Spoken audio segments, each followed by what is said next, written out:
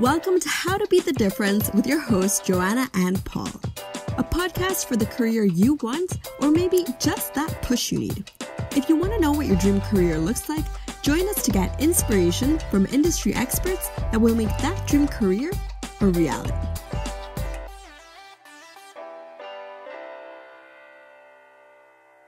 Hello and welcome to How to Be the Difference with your host, Johanna Molina. And Paul Lynskey. How are you today, Paul? I am good. It's a terrible day. Um, it's grey outside, but besides that, I'm in good spirits. How are you, Johanna? Also in good spirits and happy to to be in seeing all these reviews that we are getting. So keep them coming because I love we love to hear from you. Positive uh, vibes. Love it. Yes, yes, yes, yes. And today we have a really interesting topic is about human resources. What do you know about that, Paul? Um, not a lot. I suppose hiring, firing, CVs. That's that's about it. Yes, I think a lot of people will probably have the same, and we have an expert today that is going to tell us all about it.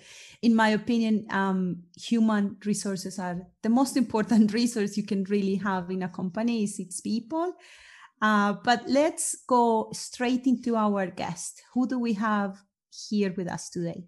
Sue Liburd, MBE DL, is a multi award winning businesswoman with 25 years' experience in behavioral change, human resource management, and people development. Sue is an author, a TED speaker, a champion of inclusion, a former International Businesswoman of the Year, and received the titles of MBE, for services to business, charity, and voluntary organisations, and Deputy Lieutenant of Lincolnshire. These are titles not many people achieve. Sue currently is the founder of Sage Blue, a human capital consultancy, and sits on a number of boards, including a non executive director role with the UK National Health Service, the NHS. Sue, how are you? Well, I'm really well. Thank you so much for having me along. Excellent. We're delighted to have you. So, I suppose we'll kick it off with Would you be able to tell us some of your backstory, uh, just about yourself and why you chose this career? Well, I'm. Um, let me start with the fact that where I am at today, I've got a portfolio career, and it's a portfolio career by design. Um, a few years ago, I made that decision. I needed the variety um, and that's just slightly how I'm wired. So, um, as you quite rightly pointed out, I've got, uh, I'm an HR uh, change and transformation consultant, so I have my own consultancy. Um, I've got another, I've got a small number of non exec directorships, one of which is with uh, the NHS. Um, I do a lot of speaking and I do you know, senior executive coaching and mentoring. Um, and I'm also studying too. So uh, I'm a big passionate uh, a person who's really, really passionate about continuing our learning and development. So that's my portfolio now. But my route to get there um, has been, you know, moderately traditional. I say moderately, as in, um, you know, education route. You know, obviously graduates, diplomas, all of that kind of stuff, as well as of having um, some strategic and senior manager roles. That's really interesting, Sue. And I would love to bookmark for, for later on something that you said about having your career varied by design. But before we dive into that, what about telling us a bit more about the HR aspect? So, what does a career in HR looks like? So, a career in HR looks broadly like the um, employee cycle or the HR cycle, if you're familiar with that. So, what that cycle simply says is that when an individual is coming into an organization, that uh, there's obviously a recruitment and selection phase, there's an onboarding phase, then there's the time they're in the organization and they perform, and there's at some point people have to leave an organization. So, um, that employee cycle um, and the performance aspect is impacted by a range of things. So um, there's learning and development, for example, there's reward and remuneration. So that performance piece has got some little branches that go off that. So a career in HR broadly means that you are responsible or influencing uh, the employee's life uh, whilst they're sitting in the organization. And you can be a generalist and work across the whole of the, the cycle, or you can have areas of specialism whereby you touch on some of those points that I've just made, uh, because they are specialisms within their own right. And that is often dependent on the size of the organization that you're in. So the bigger corporates, for example, will have a specialist team that looks at reward and remuneration. A smaller organization, such as an SME, may find that you're looking at performance and you're looking at recruitment and you are looking at uh, reward and remuneration as well as you know um, you know the onboarding of, of, of, new staff. So it depends really on the size of your organization where possibly specialism lies. But broadly speaking it's the employee life cycle or the hr cycle. Um, that's that's at the heart of uh, anybody that's interested in a, a career that's in hr and yes, I love that answer also because it ties with some of the myths that we have heard in the past from from people that maybe HR is all about hiring and firing people. You just said it's not just that, it's also a lot in between from the beginning of the journey to the end of the journey with someone in the organization. Um, so, since it's so varied and robust, what do you need to succeed in HR? What are those skills or habits that you need to stand out? Oh gosh, now, you know, pull up a sandbag and get comfortable because I'm going to expand on some of these things. All right. So please do. honestly you really need a raft of skills and um, and these are, allow me to share some of them with you they're really important so these are in any order of priority. These are literally as they just bubble up for me. Okay. So number one is you've got to be comfortable with conflict um, because you've got to be able to have uh, those difficult conversations. Now, if you are somebody that is not good with conflict or can't have a difficult conversation, you are going to struggle in the, the role of somebody that's working in HR. Um, because we spend our time in that space. We have to either set up those conversations or we have to facilitate those conversations, or we've got to help managers have those conversations, you've got to help employees have those conversations. So we've got to be very, very comfortable with uh, difficult conversations and be comfortable with conflict. And conflict gets a lot of bad press, but conflict really is just about being in a state of opposition. That's where you've got two parties that have got a different point of view, and we have we operate very much in that space. So, number one, I would say you've got to develop the skill to be able to facilitate effectively a difficult conversation. The next thing um, I would argue is that you've got to have an organizational focus. Um, a lot of people come into HR because they go, I like people. And that is not enough.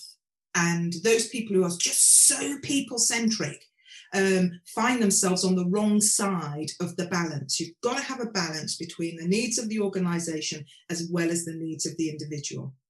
And um, where, like I say, I've seen over the years people get burnt out or they struggle or they get disillusioned is because they can't manage that balance. Fundamentally, um, HR is a function of the business, and that the, the goal is to be able to enable the business to thrive um, and to grow and to evolve, and to make sure that um, the talent within the organization um, can fulfill its potential, of course, that has the skills, the knowledge, and expertise to be able to do its job. So you're always doing that balance between what are the needs of the organization as well as what are the needs of the individual. So that's a really key thing if you cannot keep secrets, do not go into HR. Okay, it's a, it's absolutely it's crucial. You know, you have to be discreet. You get to hear things. People will share things that it's not for you to then go and blab all over the place. So it's really, really important that you have high levels of integrity, discretion, and you can keep confidences. Because what happens is people test you and they'll test you with a confidence. And should you leak, your whole reputation is really and truly is damaged and your career in that organization will be jeopardized. So, um, and people put you under a lot of pressure. Um, but it's really important you hold the line. So confidentiality and the ability to keep secrets is a really core core competence, in my opinion. So that's a, a it's one that often people don't talk about, but this is you know the lived experience here. Um, and being having been very senior as well, I've you know, loose lips have, um, you know, damaged some people's careers. So you have to have that high levels of integrity and be able to keep secrets and um, manage discretion. How have you managed that particularly in your career? Because it can get like heavy for you keeping all this people's secrets. How do you manage that to not share them, but also not have them as personal? The secret is, to be honest, is about boundaries it really is. So it's things like setting the intent, uh, setting up a conversation appropriately, um, and as and when people start to share.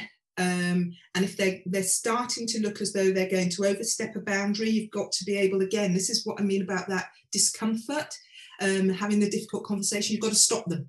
So you've got to remind them.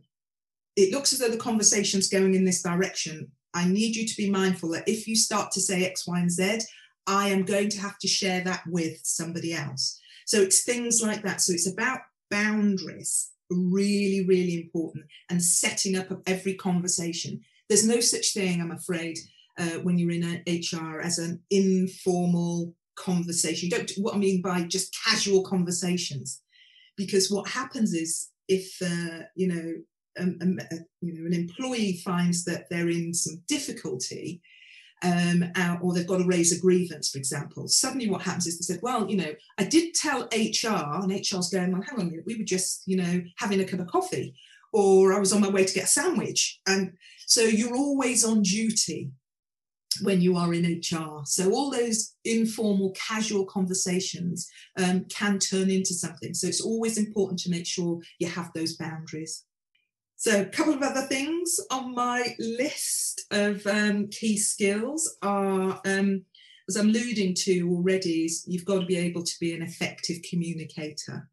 And when I say effective communicator, you've got to be able to actively listen. Um, and your ability to actively listen is a superpower. And this is something that everybody can practice and practice and practice and practice and practice. And that's paying absolute attention, really listening and listening to what's not being said as well as what is being said. So that active listening. So in HR, people should be listening far more than they are speaking. And it's quite funny when I, I'm in the company of um, HR colleagues because we all jabber away, chat, chat, chat, chat, chat, chat, chat. There's lots of noise. And um, because we don't get to talk a lot, get to do lots of listening. so yeah, so you can sometimes walk into an HR department and there's a lot of noise and people go, "Oh my goodness me!" But that's because it's a safe bubble and we can just all be you know terribly noisy. Um, but also the thing about the communication is that there is a lot of writing because we're very evidence based as a profession. Um, so there's lots of audit trails um, you know, lots of verbatim commenting.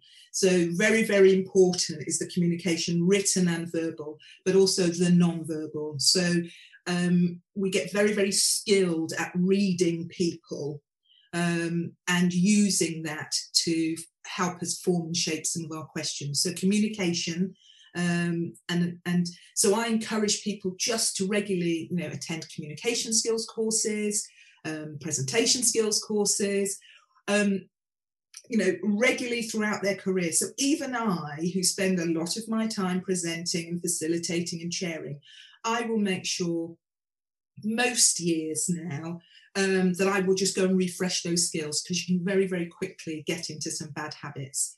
Um, so it's really, really important. So, you know, ability to communicate. Another skill is the ability to give and receive feedback. We spend a lot of time in HR doing that. So, obviously, you know, back to our um, HR, our employee cycle, you know, recruitment selection.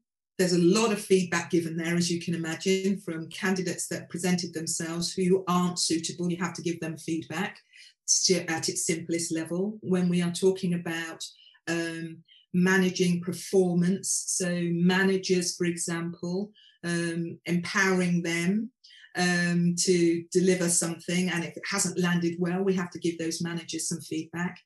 Um, so, all the way through a process, whether someone's being promoted or somebody's being demoted, whether somebody's um, wants to go on a, a, particular program and you have to there's a selection pr- process or you're managing somebody out for example redundancies or poor performance um, you are giving feedback all of the time. So that ability to not get in the way your personal views and opinions to base your feedback based on behavior based on fact based on evidence is really important so your ability to give and receive feedback is is, is a really really core skill um, that you will see all HR professionals who are good at what they do have that ability. They really do.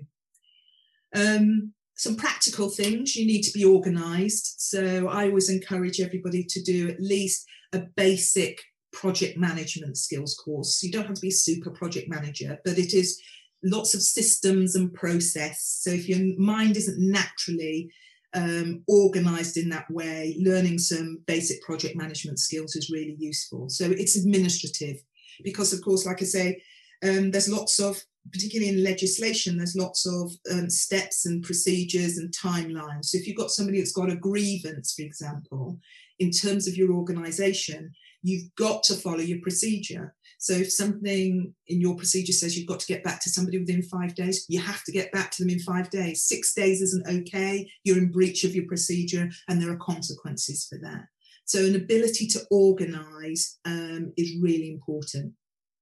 Procedures, scheduling, um, that's HR, that's just like breathing. You know, you breathe in, you breathe out, inhale, exhale the administrative side is there. So if if somebody is you know hates administration then they would they'll struggle. Because it doesn't matter if you've got a piece of software you still have to input into the software you know. So um, you've got to be hardwired around uh, or develop the skill to be organized. Um, another skill i would say or competency is around intercultural sensitivity now, ordinarily, we, we think about intercultural sensitivity, we are talking about the mind naturally runs to you know race or gender for example. I'm not talking necessarily just about that. I'm talking about di- different departments have different cultures. So the sales and business development side of a business has got a different culture to let's say finance. Um, operations has a different culture to procurement. So you've got to be able to move around these different cultures within an organization. And when they intersect, then sometimes there's friction and sometimes there's uh, pushback or the two sides get into conflict. So you've got to have that intercultural sensitivity, know what the business developers and the salespeople are thinking, and know how um, back office function is thinking, front of house versus back back of house, for example. So, got to be able to understand that. But also in terms of the traditional sense of intercultural sensitivity, very important too, and intergenerational thinking, because of course, you know, we have from graduates right up to you know the traditionalists who have been in an organization for a long time. And, and so people see the world very very differently. So one of the things about hr is we're very good at being the translators. Um, so helping these different groups understand each other a little bit better. So i would say intercultural sensitivity is another skill. And let me think another one may well be ethics um, you have to be, I would argue, ethical because we are the, the gatekeepers of an organizational standard. Um, so if an organization says it's doing this, we've got to be able to uh, hold people to account. So it comes back to some of the points I've made already about some of those difficult conversations. So uh, we are the gatekeepers of the standards. So I, I would say, yeah, difficult conversations, um, needs of organizations versus individual important that confidentiality ethics standards um, effective communicator intercultural sensitivity for me they are the really core um, skills and competencies that you need to have in HR, regardless of what your specialism is. Yeah. Thanks for that, Sue. And I suppose like we were joking at the start, just before we we came on here, we were just joking about it's been. I suppose we saw each other at the start of this whole pandemic, and not a lot has changed since then, but the whole world has changed in a bigger aspect. So, how has the role of HR changed with remote working? And I'm, i suppose I'm, I'm thinking about mental health aspects of, of employees. Yeah. Well, organizations for decades have talked about how important the human capital is, how important people are in their organizations. Um, and you would expect me to say this people without an without people you don't have an organization you just don't. People have always been important so our human capital has always been important. But what the pandemic has done has really brought that into sharp focus um, so at all levels now of an organization we recognize that um, how important people are and if we don't look after them we don't invest in them, then actually we don't have a business that can thrive or that can grow. And one of the key things um, we've seen emerge throughout this pandemic, so first of all, when we look at leadership, is that managers and leaders have had to up skill themselves in terms of how you lead and you influence and how you look after people. So they've really had to think about um, you know the talent that sits within an organization. And HR has had a really big part to play, and HR in its broadest sense now. So, and I'm talking about whether you're um, how we reward people. Um, talking about how we develop people. So, you know, some organisations have worked very hard at going right. Okay, uh, we may have to furlough you, but here's an opportunity for you to upskill. The world is still moving. The world hasn't stopped. So here's an opportunity for us to upskill you recognizing that for some people, so people who are socially isolated, for example, um, one of the things that HR has really worked on is building uh, opportunities for those virtual um, connections. So it's the, you know, come and have a coffee, come and have a check in, um, see how health and well-being. So health and well-being very much becoming far more on, onto the agenda, which I think is very, very important. HR has also had to recognise that for some people, their domestic circumstances have been a real challenge. Um, and so, for example, we've had increase globally, um, you know, domestic violence, um, and therefore HR has really been there as a resource and enabling managers and supporting managers in terms of how to um, support staff who are going through a very, very difficult time.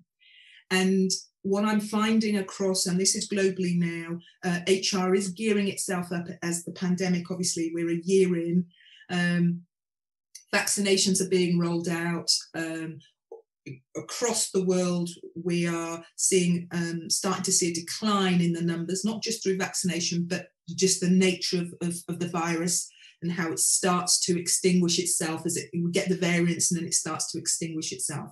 So starting to think about how do we create the new normal and how do we prepare people to start to work differently or to return to the office. So HR very much at the moment in the forums that I'm sitting in are starting to think about how do we prepare people for this next change stage. So it's that restoring uh, aspect one of the key things about HR is you often we're looking in terms of the future. We're not always just focusing on what's right here in front of us right now. So we are a um, bit bit like scenario planners.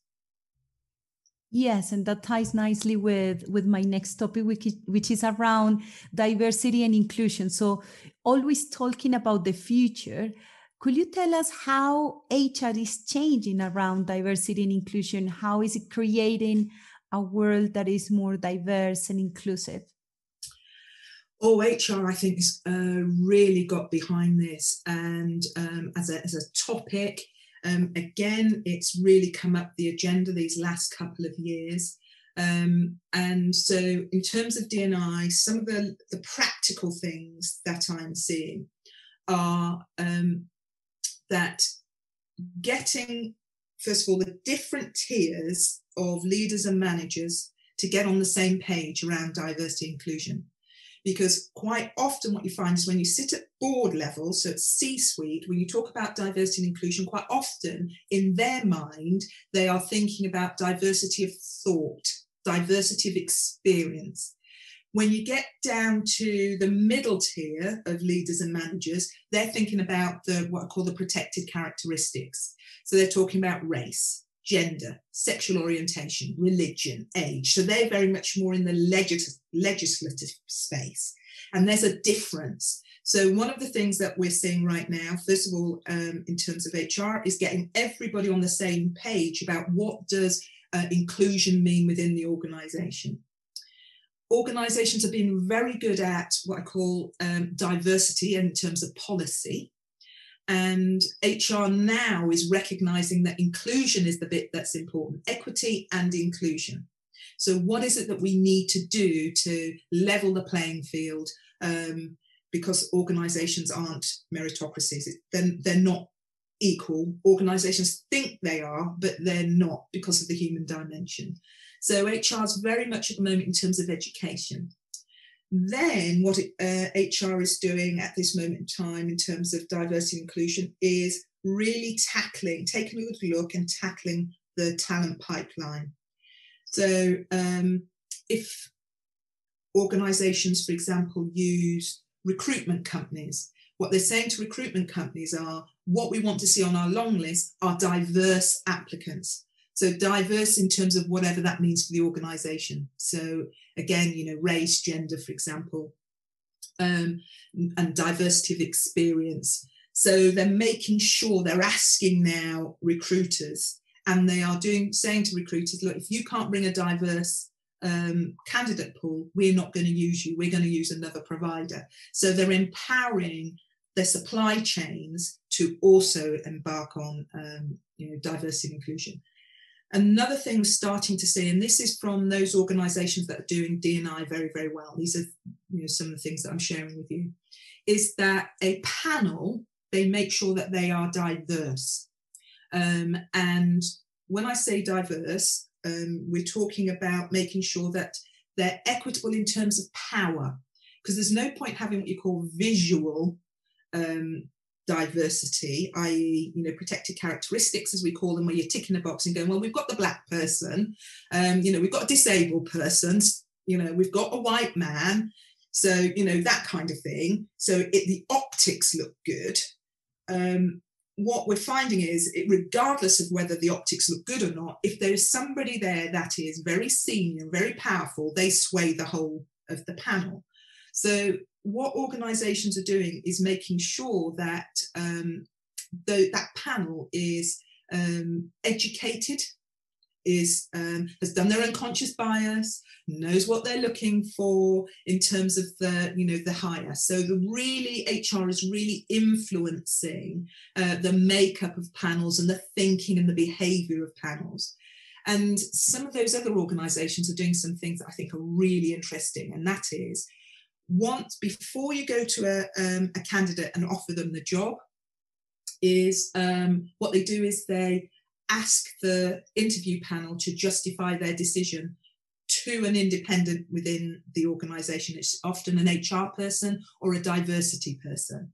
So they sit there and go right walk us through the candidates walk us through your scoring um, and tell us why you have chosen this person. So they are asking them to see if, if they've got some bias and when people know their their decision they're going to be accountable for their decisions. They they pay a, a you know different attention to um, how they ask the questions and how they and how they judge. So hr is really influencing now how organizations start um, to fill and maintain their talent um, pipelines. Just those are just a couple of examples of things that are happening right now.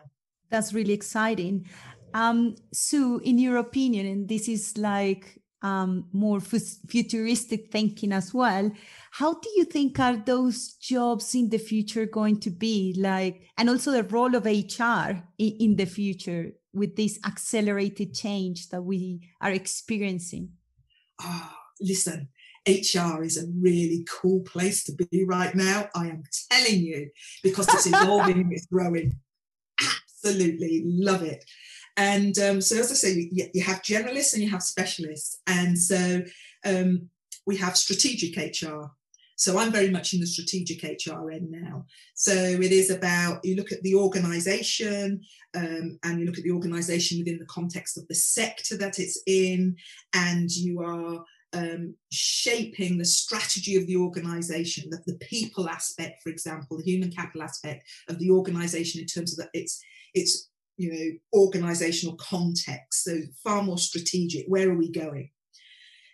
But we've got a new um, emergent specialism and that is sustainable hr because lots of organizations of course have got sustainable strategies. So um, climate environment social aspects really important. So to be an employer of choice um, sustainability is really important. So we've got now the emergence of um, beautiful, you know, new area, which is the sustainable HR specialist. So they are looking at all levels of the organization to say, hang on a second, are our policies, are our procedures, are our decisions in line with our sustainability goals and objectives? Um, and if they're not, then what needs to be done and how are we going to do that? So it's not just, you know, what I call waste management and, um, you know, recycling, all of that. It really is the whole aspect of sustainability. So that's a new area that is really just starting to come to the fore. So I think that's really one to watch. And I think it's really, really exciting. Obviously, we've got change and transformation specialists um, that sit within um, human capital um, and they will continue to have a key part to play because the pace of change is so quick that um, you need specialists to be able to work with managers to make sure that their, their teams aren't getting behind so that they stay current, stay relevant, stay agile and keep moving. So change and transformation is one that will, will always stay of course, as I've said, linked to that is that people have to uh, continue their learning and development, and absolutely essential. So will, there'll always be a place for the L and D professional within the, the field of HR, without a doubt. And of course, broaden that to your organisational development. So, what's the organisation of tomorrow look like? Um, so, trends, forecasting. We have obviously data is everything in an organisation.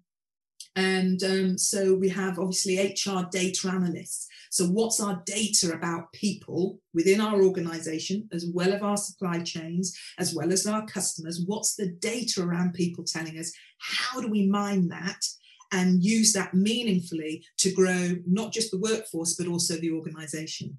So, as you can see and hear, hopefully, in my voice, just how exciting a field this is now. It really is interesting. So those people that think it's just about hiring and firing, get over yourself. It isn't. yes, you you definitely managed to, to to give me some of that excitement. Like I now want to change careers to HR. So I want to pick up lastly a bookmark from the very beginning. You said something really interesting. You said, I have a varied career by design. And I'm curious to know how did you design your career? When when did you actually said HR is for me. And also, I want to have a consultancy company and, and all of that. How do you design your own career? Well, my approach is I don't look, my whole career, I've not looked for jobs per se. I haven't said, oh, there's a job over there. That's what I want to do. That's that's not how I've been hardwired. What I do is I look for what I call the core ingredients. And then when I've got all of the core ingredients, then I go, so what job out there has got all of these core ingredients? And that's how I, I got, first of all, I suppose, into HR. Um, so, for example, core ingredients for me have always been around change and transformation. That's, that's in my nature. Um, so, as long as there's change, things are moving, that's important. So, they're key ingredients. Um, variety is important. I'm uh, passionate about lifelong learning. You cannot now, today, train or uh, get your degree and stop there. You have to keep evolving, otherwise, you're going to go the way of the dinosaur. You will just literally disappear and you will not be relevant. So, um, one of my key ingredients are learning and development. I like analyzing um, and analyzing information um, and drawing conclusions from that. So again, I also like designing things. I like shaping and scoping new things. I'm a bit like a mechanic in that regard. You know, give me some components and can I make something new out of it? Um, also, I love problem solving, creative problem solving. I'm, again, I'm hardwired around that. So some of the things is make sure that um, those ingredients, put them together, and you go, where out there is there a role that could fulfill those ingredients? And so HR became a natural space for me to spend a lot of time. It's about people, it's about developing people, it's about change and transformation. I get an opportunity to influence. Um, but also, the thing about HR um, that really excited me was that we're about making recommendations. People, it's one of those myths. Everybody thinks that, you know, HR with a judge and the jury. We're not what we do is, you know, synthesize lots of information. We advise and we guide, whether that's the employee or whether it is um, the management or the leadership, and then they carry it out. So we're an enabling of others. We make recommendations to others. And that is really fabulous for me. Um, so we don't have to do all of the doing, that's not our job, but it's enabling and empowering others. And that's a key ingredient. So I sometimes think that HR found me as opposed to me finding it really. Thanks so much, Sue. I also during during the course of this interview, I, have crossed off a couple of questions around hiring and firing, so we're all good. um, just uh, last last question. There'll be a lot of people listening now, uh, specifically for HR. Is there any kind of resources that that you would get inspiration from that you could recommend to anybody on the call? I think um, any particular resources, I think it alludes to some of the skills that I was sharing earlier. Um, go and develop those. And there's lots of um, short courses that are out there um, and to practice these skills. They are um, they're essential for life, not necessarily just for HR. Um, but they are key in terms of HR. So I would encourage people to think about getting a list of what they see are the core skills, or go and spend some time with um, somebody that they think is very good at their job in terms of the HR field and dis- ask them distill down what is it that they do and, and and how do they do it so well and develop those skills for themselves um, i would also say I, i'm an avid reader and not just staying and this for me is really important, not just staying in the field of HR. You do need diversity because the thing about HR is we're mixing with people from all different walks of life, different backgrounds. And it's really, really important that we can be relatable and the advice that we're giving is relatable. So read and study widely is what I would say. And don't just stay in a narrow, you know, compliance led um, whatever your professional body is, and just stay in that same filter bubble. That I think is quite dangerous. Um, so, podcasts, journals, short courses, obviously professional qualifications, um, sit in different forums. I think the whole gamut of CPD is really, really important. And um, I'm currently just reading a book. I've got it here. It's sit, sitting on my desk at the moment. I spent some time over the weekend. In fact, I'm reading two books at the same time. I'm reading Brené Brown's Dare to Lead. Excellent, absolutely excellent. I'm two thirds of the way through that one. And the other one I'm reading is Why Do So Many Incompetent Men Become Leaders? And um, of course, there's a little subline about and how we have to fix it, of course, um, by um, Thomas Chamorro Premuzic. And um, really, really interesting read. This isn't a, a, a, man bashing at all, but it is how sometimes we make um, mistakes in assuming that confidence equals competence. And that's they're two very, very different things. So I would advocate, in terms of resources, do some reading and listen to some great podcasts. And Brené Brown is an amazing author. I also love her and all her ideas around vulnerability. So I'm with you on that one, Sue. She's brilliant, isn't she? She is. And it's again, you know, my bias, it's research based, it's evidence based, but she's got an ability because she's a really good storyteller not to make all of that research and evidence feel heavy. She just makes it so relatable. Easy read, easy listen. Absolutely. Sue Liburd, thank you so much for today. It was absolutely brilliant. My pleasure. Thank you.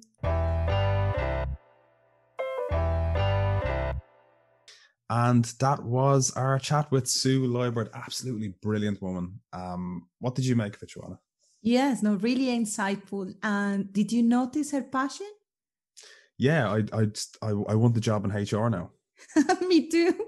Me too. Um, that yes, that was fascinating. So that's it for today. You can reach us at how to be the difference at theinterngroup.com or on social media at the Intern Group. And, and until next time. Before you say goodbye to everyone, please don't forget to rate and subscribe wherever you get your podcasts. It really helps um, the growth and everybody listening. So more people can listen.